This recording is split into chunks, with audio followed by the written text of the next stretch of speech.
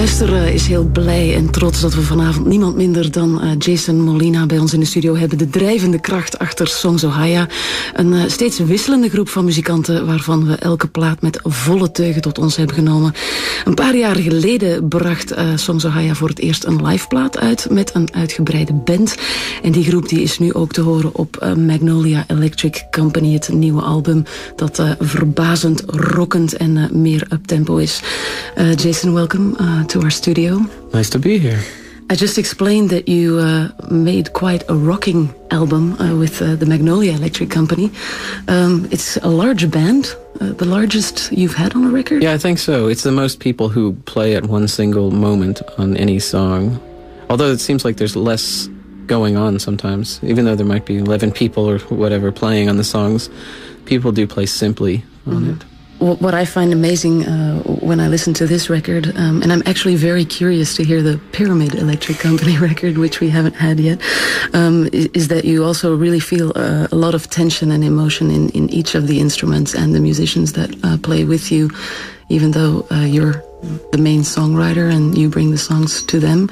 Do you take a lot of time to rehearse with them, to work with them? No time taken to rehearse. That might be part of the tension. Is um, for the Magnolia record, I had a whole record written t- of entirely different songs that I thought might work nicely with the core group of uh, the band from Chicago.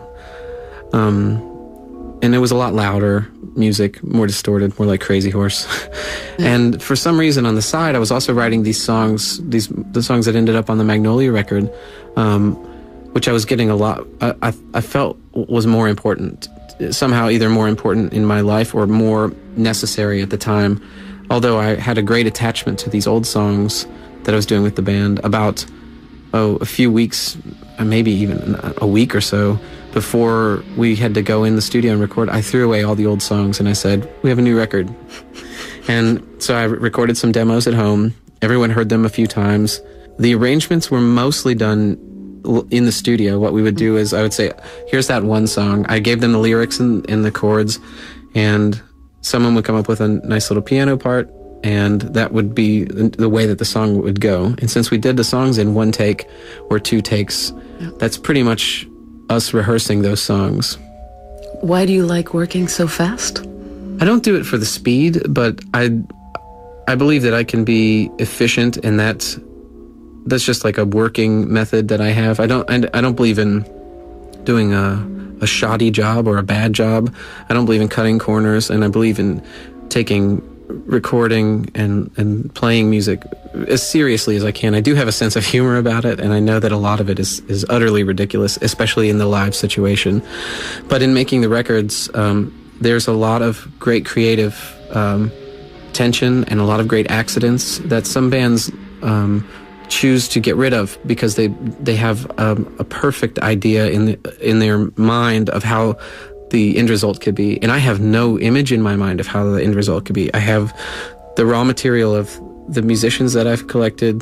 I mean, I, I really care deeply about everyone who plays on those records, but so I've I've picked a group of musicians. I have the group of of songs that I want to be a family on a record, and I want to see what kind of wonderful accidents we get. And if it's total garbage, we all know it. It's usually sort of understood. I am one of my favorite songs from the Magnolia um, just didn't cut it. And it didn't end up on there. And it did not end up on the record because it just didn't work. Um, but that's just what happens. Do you keep them afterwards? No, songs? usually songs are are gone. Um, sometimes I've recorded them as demos, and other than that, I just start working on the new stuff the songs aren't that precious to me, although I, there's a lot of emotion in there, and they there are songs that are so personal that it's it, it gets harder and harder to believe that I want to sing this for people. In the old days, I never thought of my songs like that, although they were very personal. But um, I think that I don't play music for other people. Um, audience comes and then they're disappointed that they ne- that I never play the old songs, mm. but I never have done that. Each time a new record comes out, I'm already writing the new things, and once in a while I play something fairly old, but um, so I don't know what I do the music for. I think I do it because it's just something I have to do, and since I was a kid, I felt that way, mm. and I don't really appreciate the pressure from the audience side where they re- they do expect something out of me, and I really expect nothing out of them except for the minimum courtesy. If you if you choose to come, just you know listen and watch, or you know maybe not throw shit at me. but I uh, when I go out there, it's really it's really something special for me. So um, I'm trying to give it the best that I can. But I, I there's a lot of expectations that people have uh, as I'm learning um, after shows. People so you know utterly disappointed that um, we played, uh, you know, 50 minutes long, but it was one, I will come off the stage and the band will know that was one of the best shows. There was a lot of improvising. There was a lot of new songs. We knew it was one of the best shows we'd played in months and months. Mm-hmm. And yet people will just complain that we didn't come and do an encore or we, did, we didn't uh, play their favorite song. Um, that's not what I do music for. Yeah. Um, also today, uh, you recorded uh, some songs for us. Um, All new songs that are yeah. not, they're not on any records. Yeah, because I asked you uh, what are the titles of, of the songs, and they don't have titles yet. For this session, um, the only uh, title that you wanted to put on there was the North Star Blues. Could you explain that? Well, this new group of songs, which I'm hoping might be part of the new record, um, they all deal with you know uh, sort of being lost somehow either uh, physically lost or maybe spiritually lost, emotionally lost, um, finding yourself again, losing yourself again, losing the world again, finding the world again. Um, and then there's an, also another group of songs which I didn't record today, which seem somehow related, which are about um, the Hank Williams song "I Saw the Light."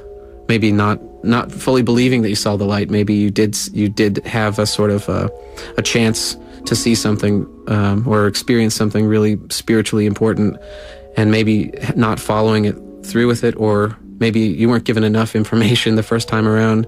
And these are themes that i've dealt with in all of my records but now there's a group of sort of 10 songs that i'm, I'm seeing is probably becoming a new record Okay, thank you very much uh, very for much. talking to us and playing for us. Uh, Jason Molina van uh, Songs Ohio. We gaan luisteren naar zijn duistersessie uh, getiteld The North Star Blues Session.